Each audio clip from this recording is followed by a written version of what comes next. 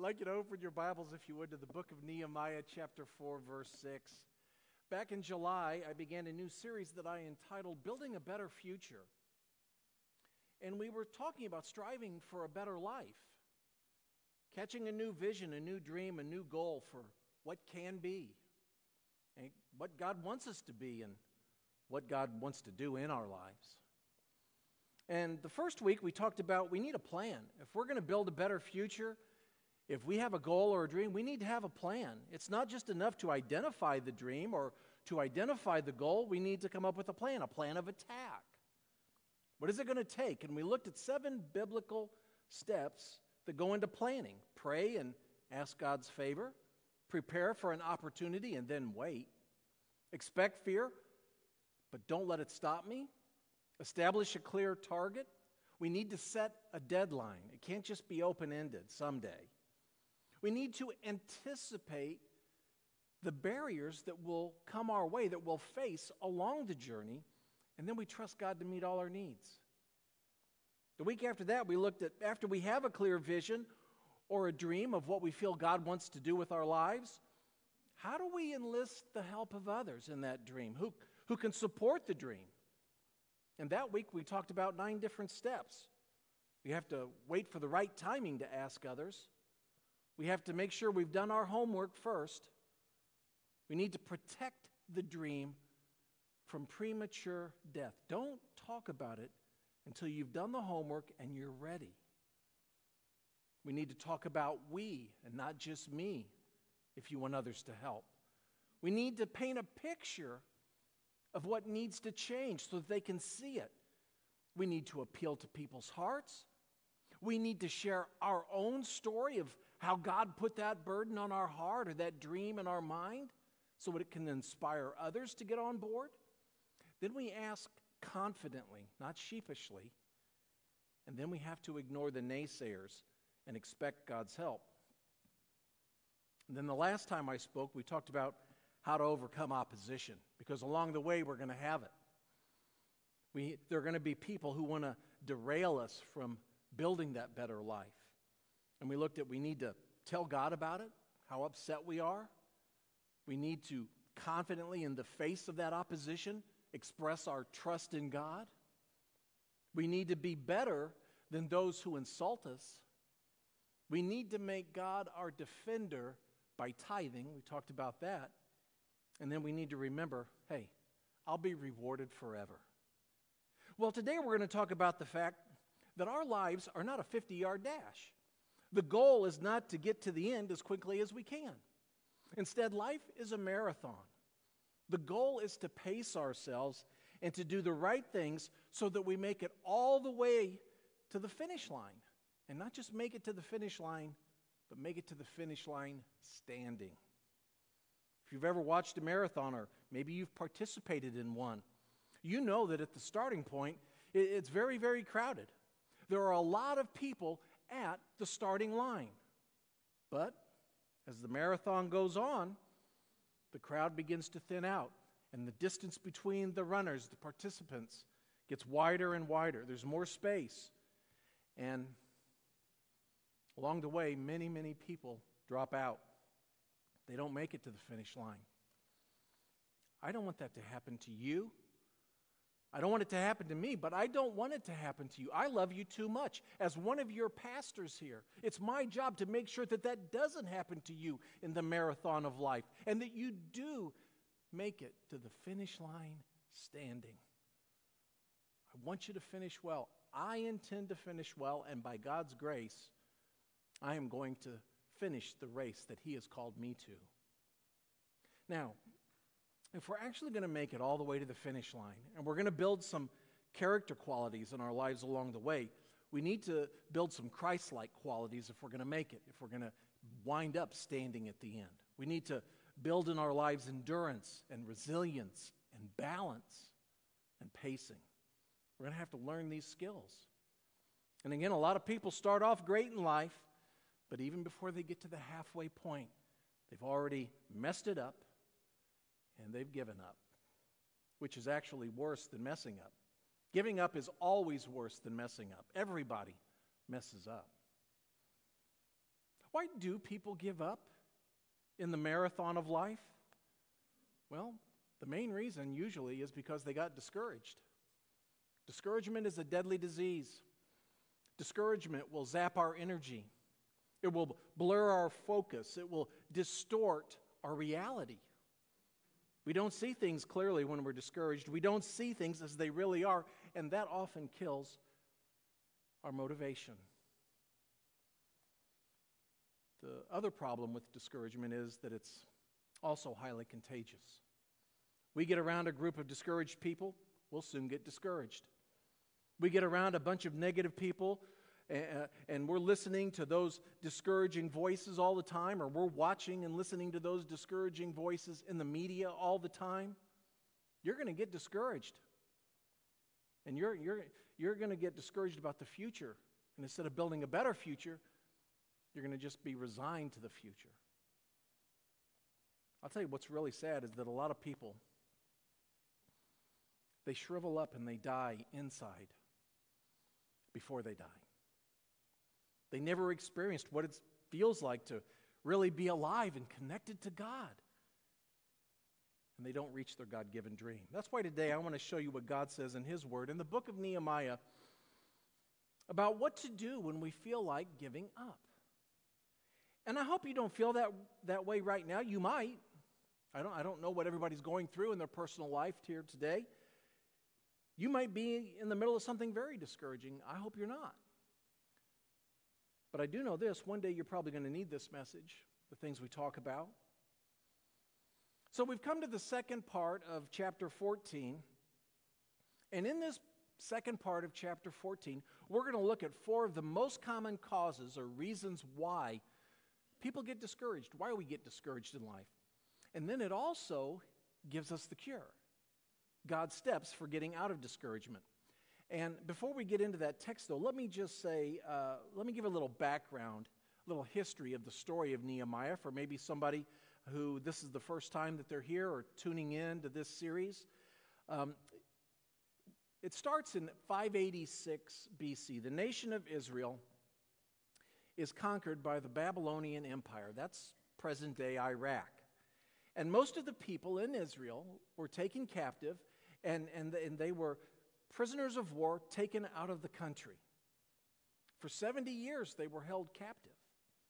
Finally, when the Persians, and that's modern day Iran, conquered the Babylonians, the Persian king, King Cyrus, he said, Well, yeah, the Jews, they can go back to their homeland. When they get to their homeland, though, in Israel, and they get to Jerusalem, what they found was everything was destroyed their homes, the city, the temple, the protective walls that were around Jerusalem. Nebuchadnezzar had leveled it all, everything. And they're living, they get back there, they go back home, they want to get back to their nation, their land, but they're living in ruin and rubble in a destroyed city. And well, in this book, Nehemiah, it's written really to discouraged people. They were very discouraged. But then God came along and he put a dream in the heart and the mind of a man named Nehemiah. And he said, Nehemiah, I want you to go back to Jerusalem. And I want you to rebuild the wall around the city for the protection of all its enemy uh, residents against its enemies. So they go back and they're rebuilding, and they start building a better future. I want you to pick up with verse 6 in Nehemiah chapter 4. So we built the wall, and all the wall was joined together to half its height, for the people had a mind to work. But when Sanballat and Tobiah and the Arabs and the Ammonites and the Ashdodites heard that the repairing of the wall of Jerusalem was going forward and that the breaches were beginning to be closed, they were very angry. And they all plotted together to come and fight against Jerusalem and to cause confusion in it. Nehemiah says, And we prayed to our God and set a guard as a protection against them day and night.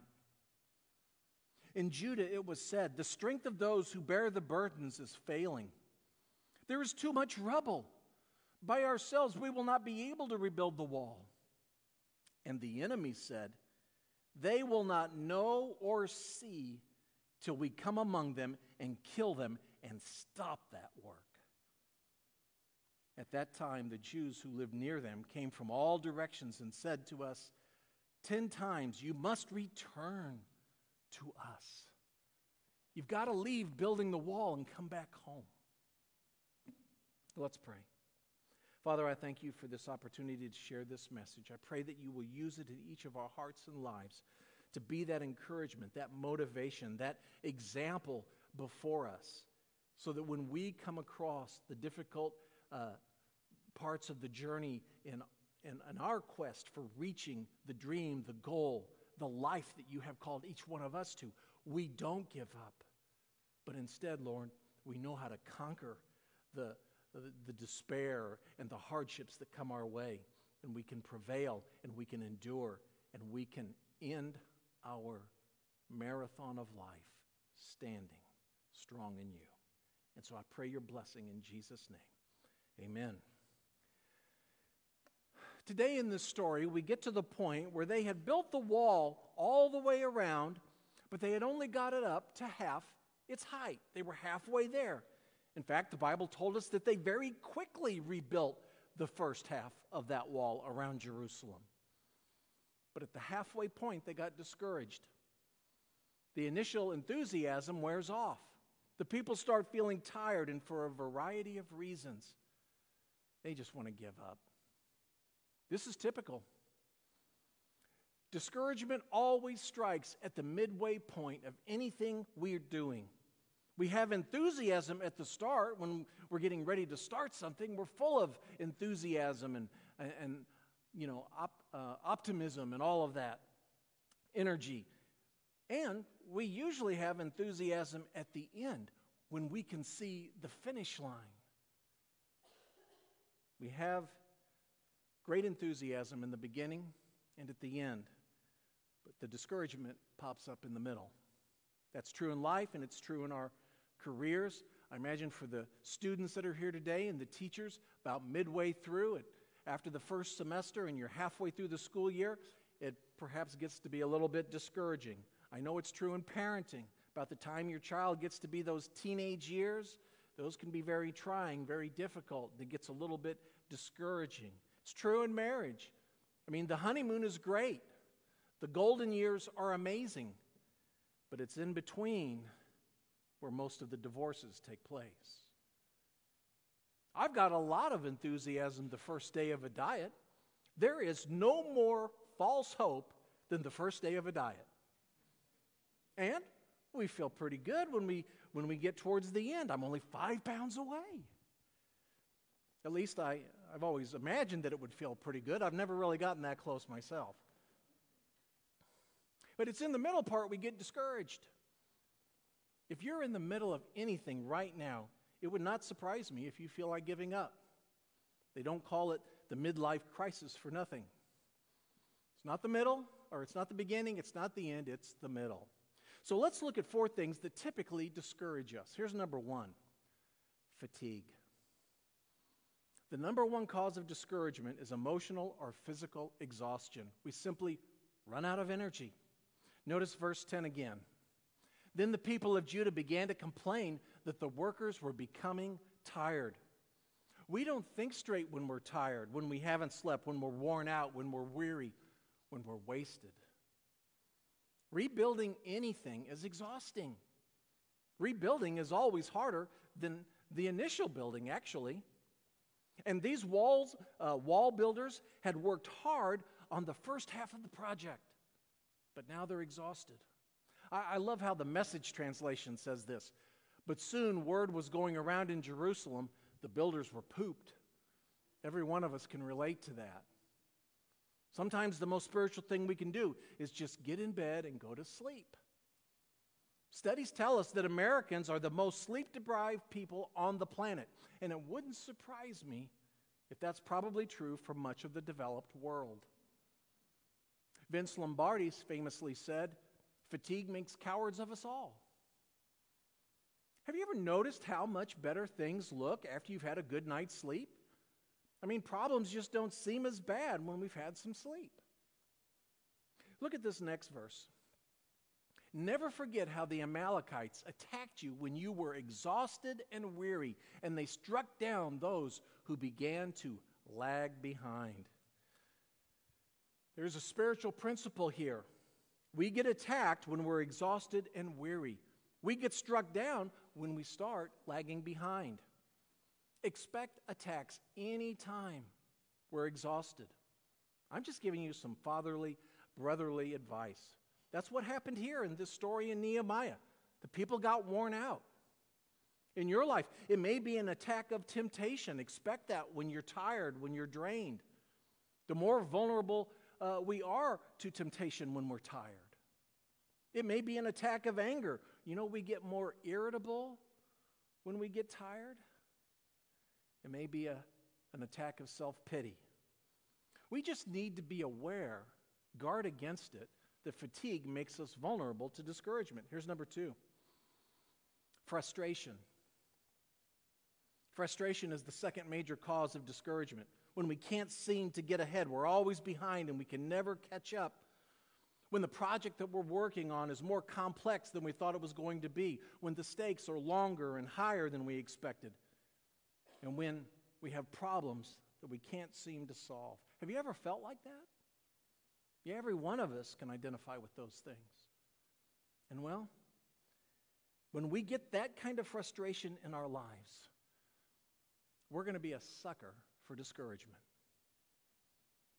Have you ever tried to maybe clean out a closet or a garage or a spare room or even maybe the obsolete files out of your file cabinet in your office? And, and, you, and you pull them all out and you lay everything in the middle of the floor, and there are so many decisions to make that you just get discouraged. You just throw it all back in the closet and you say, This is just too much.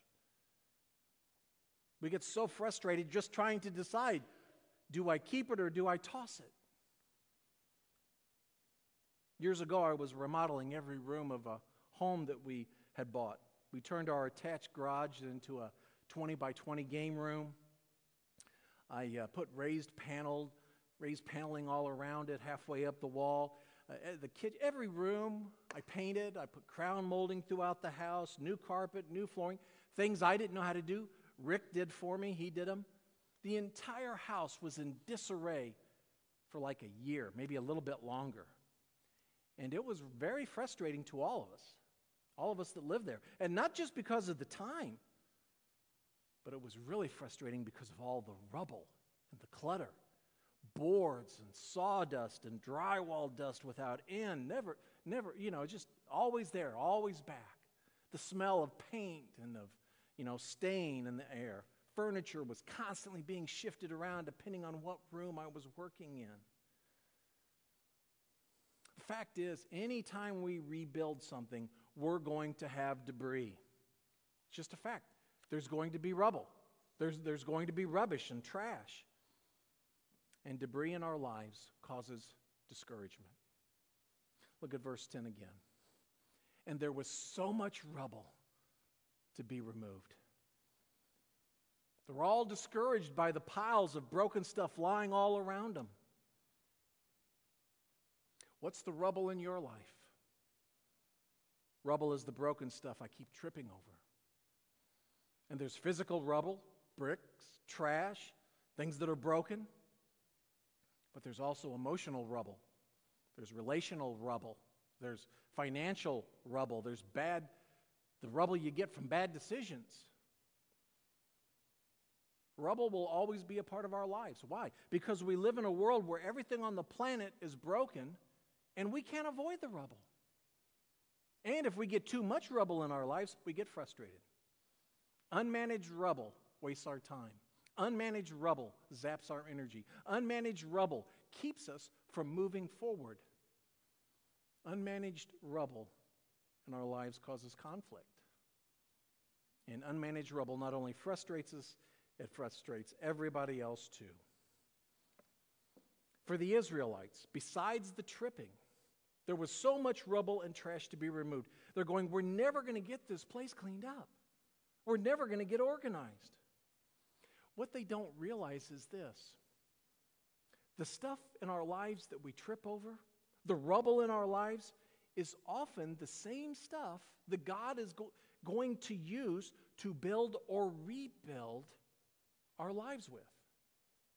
The, the Israelites were literally taking those broken pieces of the wall and putting them back together and rebuilding that wall. All the king's horses and all the king's men, the nursery rhyme says, couldn't put Humpty Dumpty together again, but God can. The true king can, and he will if we'll cooperate with him and if we'll allow him. Let me give you three rules of rebel removal in our lives. Here's A I must continually clean it out of my life. I must be continually vigilant, vigilant to clean out all the broken stuff in my life that keeps tripping me up. It's a never ending task, and we'll never clear out all the rubble in our lives until we get to heaven. But it's one of the things that God wants us to work on. If I'm not cleaning out the broken things in my life, I'm going to trip over them and I'm not going to make it to the finish line. The second rule of rubble removal is B. If I don't deal with it, it will take over my life. Our weaknesses are not just our weaknesses, they're the things that keep us from God's purpose in our lives if we let them. I don't know if you've noticed this or not, but I've discovered that trash multiplies when we're not watching it. Have you noticed that? It's like, where, where did that pile of stuff come from? We didn't even notice. Trash multiplies when we're not looking. What is rubble? Rubble is a sign that we're neglecting something. When the dishes pile up, or the laundry piles up, or anything piles up, magazines pile up, it means we're neglecting something. I have to continue to clean out my life, and if I don't deal with it, it'll take over my life. Here's the third rule I can't always see the rubble that's in my life, but others do. I've become ap- apathetic to it. I'm used to tripping over it. It's not even a thing anymore. I don't see it, but everybody else can. It's a lot like our nose. Did you know that we always see our nose? Just close one eye and it'll become very obvious. We always see our nose, but our mind just filters it out. I don't see it, but everybody else can, the rubble in my life. That's why we need each other. I have rubble in my life that I don't even know is rubble. But actually, it's as plain to see as the nose on my face, which means I need to be humble about the broken places in my life, and so do you. But frustration makes us discouraged. Here's a verse we need to pray when we're frustrated by the rubble in our life. Come, Lord, and show me your mercy, for I am helpless, overwhelmed in deep distress. Here's the third common cause for discouragement feeling like I am failing. What does it mean when I feel like I'm failing? And well, it's the sensation that I've bitten off more than I could chew. That this project I'm undertaking is going to take me down. We throw up our hands and we say, you know, I, I can't take this anymore. I can't do this anymore. Well, that's the feeling of failing. And can I tell you something? Honestly, I feel like that just about every Monday morning. I think, man, you know, the church really isn't growing. My illustrations are unrelatable. That message yesterday stunk. But at the halfway point, when they're building and they're tired and there's rubble, then the third thing it says is this by ourselves, this is, this is the workers, by ourselves, we will not be able to rebuild the wall. What are they doing? They're feeling like failures. They're feeling incompetent. They're feeling defeated. And there's probably even a little bit of shame mixed in there. We should have never started this project. We're, there's so much junk everywhere. It's just too crowded. It's just, it's just too complex. We'll never be able to finish it. The person who says I can and the person who says I can't, they're both right. Because if you say I can't do it, well, guess what? You can't. They lost their confidence and they doubted their competence. They said, who were we to think we could do this project? Who, who are we to even attempt this dream? That's probably going to happen to you at some point in your life. You've got a great de- a dream, and at some point the devil whispers in your ear, Who do you think you are attempting this?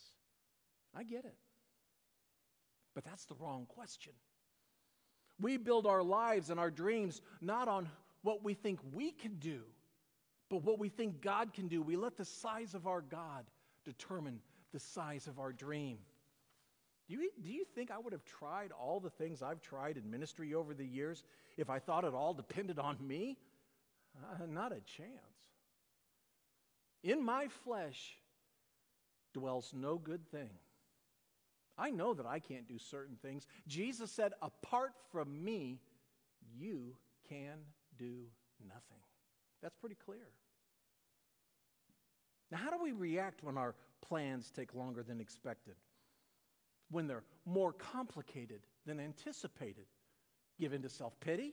Start complaining? Start blaming other people? No. If at first we don't succeed, we're normal. Nobody succeeds at first. The only way we actually succeed in life is by failing a bunch and learning what doesn't work. Failure is a stepping stone to success. Nobody succeeds without failures. I don't care if your name is Steve Jobs, Alexander Graham Bell, Thomas Edison, or anybody else. The difference between successful and unsuccessful people is this successful people see failure as a temporary setback. Unsuccessful people see it as a mark on their character. Well, I'm just a failure. No. Nobody succeeds in everything. Nobody has a record of an unbroken record of success. The feeling of failure will cause us discouragement. Here's the fourth common discouragement cause. Number four is fear. The last time we talked, the Jews were facing insults and criticism and ridicule. Now we see the enemies have moved well beyond that to threatening. They're actually threatening bodily violence. The Bible says in verse 11, and our enemies said, They will not know or see till we come among them and kill them and stop this wretched work. We're going to be stealth. We're going to slip in behind you while you're working on the wall, and we're going to stab you in the back. Now, that's that's a pretty legitimate reason to be discouraged. You might die if you keep working on this project. However, the, the enemies didn't actually have to go through with the threat because they did scare them and the fear worked. They stopped working for a while. Fear always discourages us. And I want you to notice who got discouraged at first. The Jews who were their neighbors kept reporting kept, kept gossiping the bad news. The Jews who were their neighbors kept reporting, they have us surrounded, they're going to attack. If we heard it once, we heard it 10 times. But the people who got discouraged first were the folks who lived closest to the enemies, the Jews who were their neighbors. They were the source of the fear. The point is, if we hang out with negative people and we're constantly listening to them, like the negative media, we're going to become a fearful person. Some of you, maybe the best thing you can do is turn off the television. It's making you a fearful person, a frightened person, a negative person, a scared person. There's a lot of good in the world, but we don't see it if all we're getting is negative, negative. I wonder what secret fear is maybe discouraging you right now? Well, how do we defeat these common enemies that create discouragement in our lives? We do what Nehemiah did. Nehemiah did four things. Here's number one I rest my body. Maybe the first thing we need to do is simply get more sleep than what we're currently getting. Psalm 119 says this You made my body, Lord. Now give me a sense to heed your laws. Regular rest is so important that God put it in the, in the Ten Commandments. It's right up there with don't value anything above God. Don't murder anybody. Don't lie and defraud people. Don't commit adultery. It says every six days you should take a day off. It's called the Sabbath. That's how important rest is. Our best deserves rest. And we can't be the man or the woman that God wants us to be if we're always burning the candle at both ends. And we're not getting our proper rest. Look at this next verse.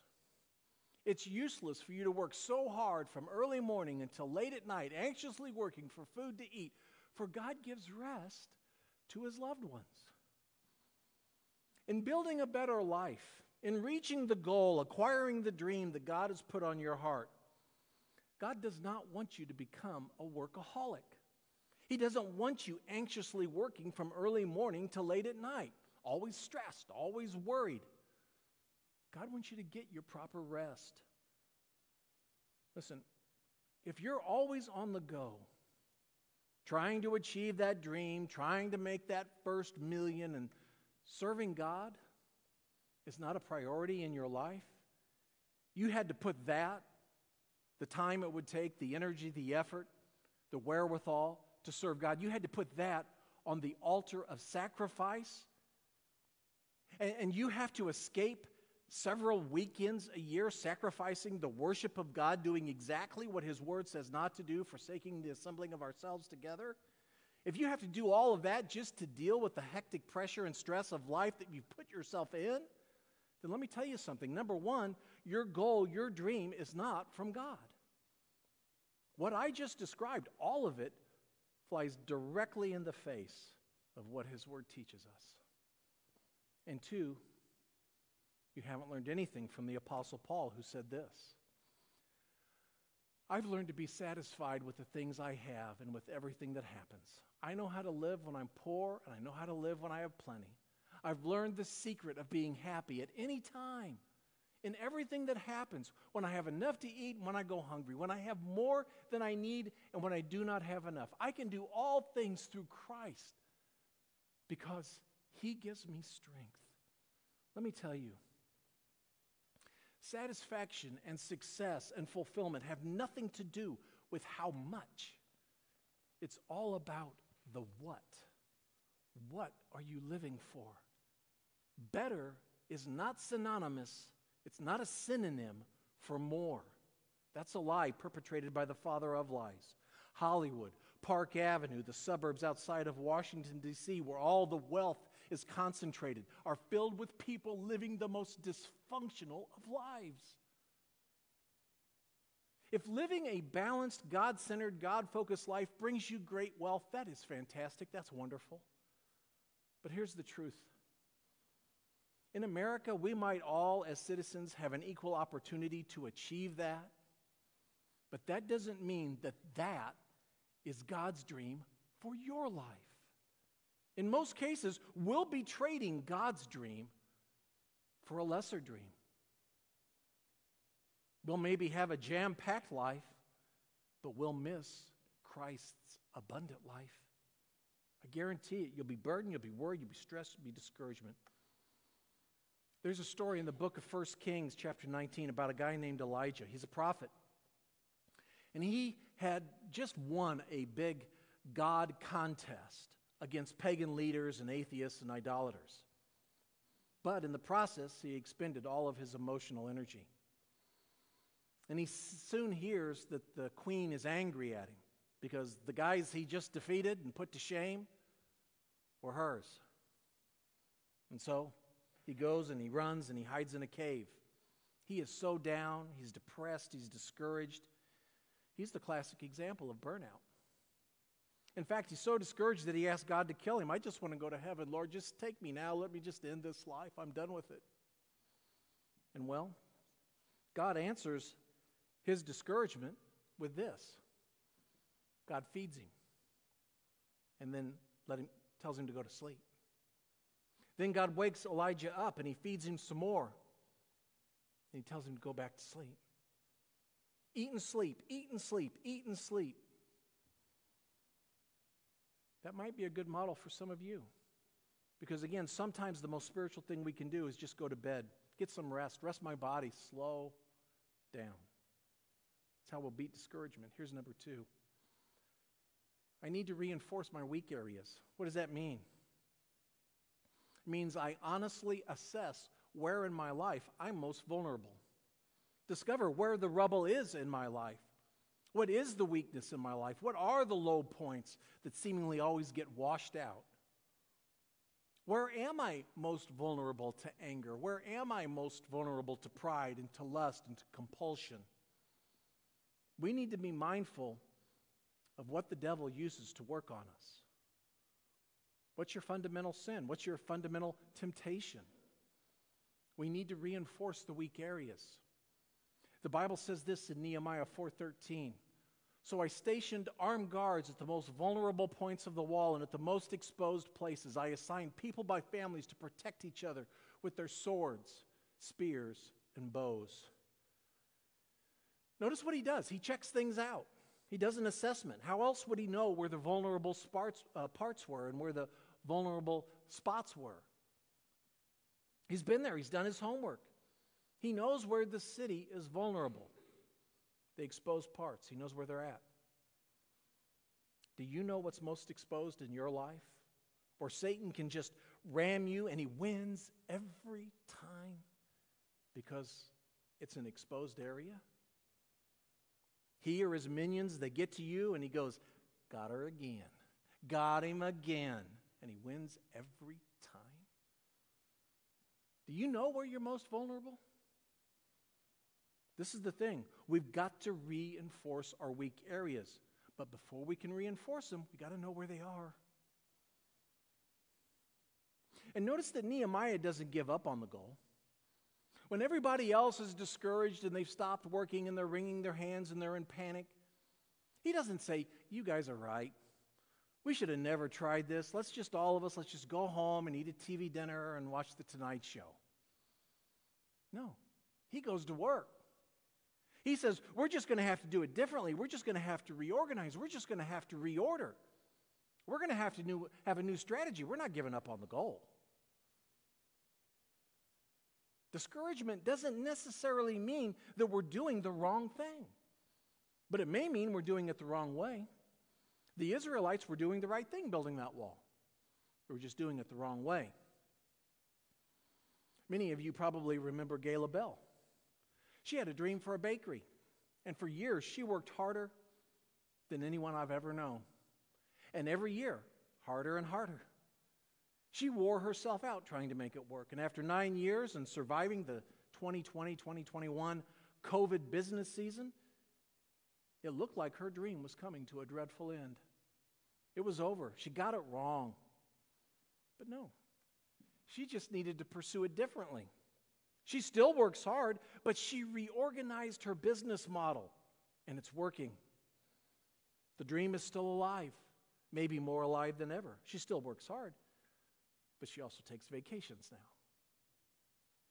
Reinforce your weak areas. Keep growing and, and, reorder where you need to reorganize. Are you deep in debt? Reorganize your budget. Are you out of shape? Reorganize and reorder your lifestyle and your eating patterns. Are you overstressed? Reorganize your time.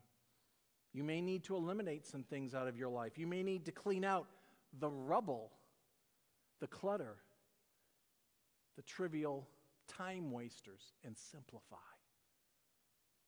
And one more thing before I move on. Let's look at that passage I referenced earlier. Some people have gotten out of the habit of meeting together with other believers, but we must not do that. Instead, we should keep on encouraging each other. This is very important. Nehemiah said, I posted them by families. If we're going to make it to the finish line in the marathon of life, reach our goals, build a better future, the easiest thing in the world for Satan to do is to discourage a lone ranger Christian. We need other people in our lives. We're not going to make it otherwise. Satan is too smart. It's easy to pick off a single person. If you're not in a life group this semester, like Jonah talked about, jump in. It's, it's not too late. And if you're not going to do that, then let me encourage you to at least start reorganizing your life so that in February you can get in the spring semester. Here's the third thing Nehemiah did. Number three, we need to refocus on God. I love what Nehemiah says in verse 14 because he knows that one of the problems, one of the causes of discouragement is fear. Aware of their anxiety, I stood up and I said to the, noble, the nobles, the officials, and the rest of the people, Do not be afraid of the enemy. Remember the Lord, who is great and awe inspiring. What is Nehemiah doing here? He's saying, get your mind on what get your mind off of whatever is discouraging you and remember who God is, what God is like. Refocus on God. You say, well, what am I supposed to remember about the Lord in my circumstance? Well, we can remember his faithfulness, how he's always helped us through everything before. We can remember his goodness. We can remember his power. He's omnipotent, he's all powerful and all knowing. We can remember that he is with us right now. We can remember that he sees everything that goes on in our lives and he cares. We can remember his promises to us. Change the channel in our mind. When we're discouraged, the bottom line is we're thinking discouraging thoughts. That's our choice. We're as happy as we want to be, and we're also as discouraged as we want to be. We're, we're discouraged because we're choosing discouraging thoughts. That's called stinking thinking. Don't replay all of those discouraging images in your mind. Choose to think about God, His faithfulness, His love, His mercy, His compassion. Switch the channel. One of my favorite book uh, verses in the book of Jonah is this. When I had lost all hope, I turned my thoughts once more to the Lord, and my earnest prayer went to you in your holy temple. That's what David did when he was discouraged. I'm completely discouraged, so revive me with your word. When we're discouraged, we need to stop listening to other people and spend more time listening to God. God will always tell us the truth, people won't. So, I rest my body, I reinforce my weak areas, I refocus on God, and here's the last thing. Number four, I need to resist discouragement. Don't give in without a fight. Fight back. Fight against the discouragement. Fight against the devil. Fight back against those who discourage you. In the second part of verse 14, we read this Fight for your brothers and your sons and your daughters, your wives and your homes. We will never defeat discouragement by being passive. And I don't have time today to say a whole lot about this, but as believers, and most of you understand this, we're engaged in a spiritual battle. And where is that battle fought? It's not fought out here in the air, it's fought in our mind. And Satan's two favorite weapons in the battle for our mind are discouragement and distractions. Those are the two biggest things that he will use to get us off course. D.L. Moody once said, I have never known God to use a discouraged person. When we get discouraged, we get set on a shelf. Satan loves to fill our minds with discouraging thoughts, and well, I'm giving you permission today to not believe those discouraging thoughts. This is the difference between ordinary people and great people. Great people never give up. They keep on in the marathon of life, in building a better future, in reaching the dream, even when they're fatigued, even when they're frustrated, and even when they feel like failures, even when they're fearful. As most of you know, Brian and I, we have something in common. Our favorite vacation is to go on a cruise. Kim and I, we, will save like a miser for two years to do this. But what I really enjoy is sitting on a beach. And I've learned a very important principle in life doing that. Waves go out, but they always come back in. The tide goes out, but it always goes back in. And when the tide is out, and I'm not just talking about the waves, but I'm saying when the tide goes out, you know what happens? The beach is very ugly. And it reveals all kinds of debris and rubble and driftwood and seaweed and trash. When the tide is out, the beach doesn't look very good, but it always comes back in. Right now, the tide may be out in your life. Don't you dare give up. Hold on. The problems aren't going to last. Don't give up on God. Don't give up on your marriage. Don't give up on your church. Don't give up on your dream. Don't give up.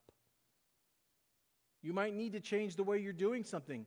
You're doing the right thing, but you're just doing it the wrong way. Don't give up. Psalm 142 says this When I'm ready to give up, He knows what I should do. Don't give up. Look up. Look up to Jesus Christ, the Son of God, who created you, who thought you up, who loves you, whose purpose for your life is great, who died on the cross for you, who rose again and is coming back one day and is going to take you to heaven. Look up to Him. Jesus Christ is the source of our strength through the blessed Holy Spirit in our lives. Don't give up. Look up as our musicians come forward. Would you stand with me this morning? As you're standing, I want you to notice one last verse. God gives power to those who are tired and worn out, and He offers strength to the weak.